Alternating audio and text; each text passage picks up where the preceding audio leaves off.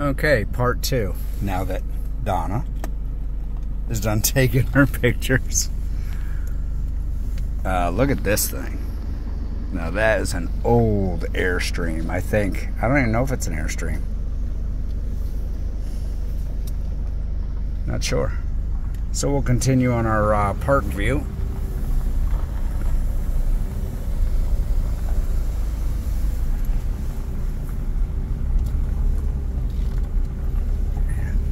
Thing's old. I think they actually have a hole in the wall for an air conditioner.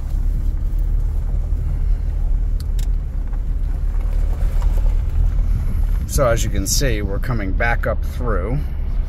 Uh,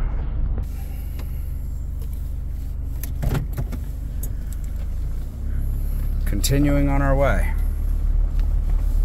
I don't know why my uh, why it's so blurry.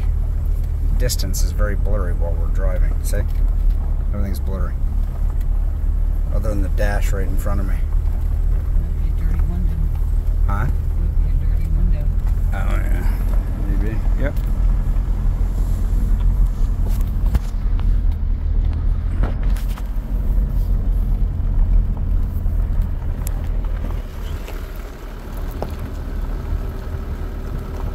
Playground up in front of us.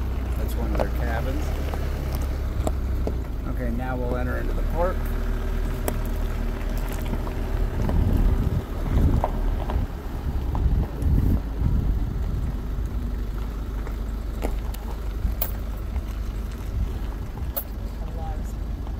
A lot of speed bumps in this park. Propane fill station. If you look at the sign, it literally says propane is filled at 3 o'clock. That's it. Drop your tanks off, pick them back up. So, this is their rec room, rec building, I guess you would say. They have uh, bingo, 50 50. They do hot dogs and hamburgers. That's your dump station. Um, we're actually staying down that way. The road went off to the left. So basically, it's a big circle with a bunch of in betweens. So there's one of the in betweens. But you can see this is this is just people's residence, pretty much.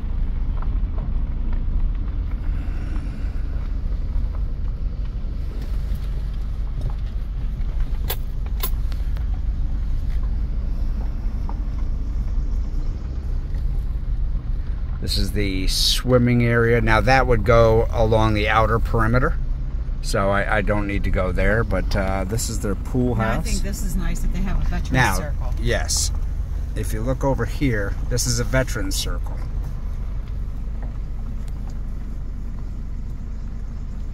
Dedicated to the vets.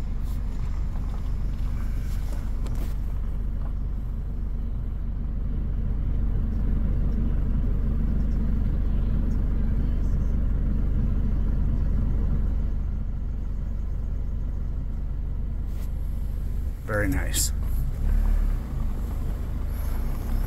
So you can see pool hours, 10 to 7. I think you can see it. Subject to change. Well, apparently, subject to change was today because they closed at 5 o'clock. So yeah, so you had the road that go went around the whole perimeter, and then you have just these in between roads. But you'll get the idea that uh, other than a few cabins down near the pond and some transient sites with uh, water, sewer, and electric, everybody is. Uh, I mean, there's park models.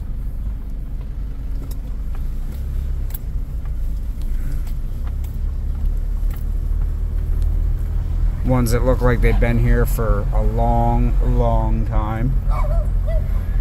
There is a, uh, this is the one bathhouse, other than the one that you just saw down at the pool. That's the only other bathhouse in the whole park. Um, so yeah, like most traditional parks, uh, there's a lot of, uh, you know, that I will say this: the sites are rather large. Uh, this one really not. Um, everybody does do their thing and keeps their uh, sites very clean. Uh, once again, there's a perimeter where everything goes around the perimeter. We're just catching up to that. That would be the perimeter. some side roads. We are actually down this way, so we're going to come back down this way. I did say that it would be nice if they have this nice creek all the way through here, but obviously it's real dry right now. I did say it would be nice if they could have a constant pumping running water that flows the creek through the whole place. It would just set, set it off a little bit. Um, so that's the outer perimeter road. We are down this way. So yeah, these are uh, seasonals. 97% I would say. Other than that little tiny road you saw going down to the pond and the nine sites we talked about previously, everything is seasonals. And some people put a lot of time and effort into, uh, as you'll see.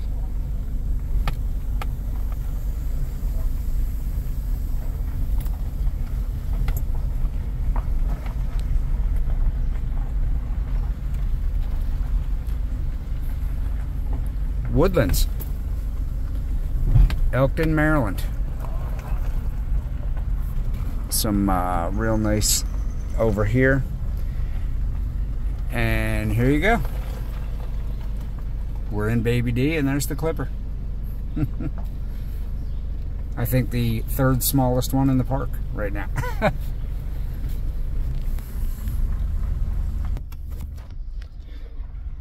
so there you have it.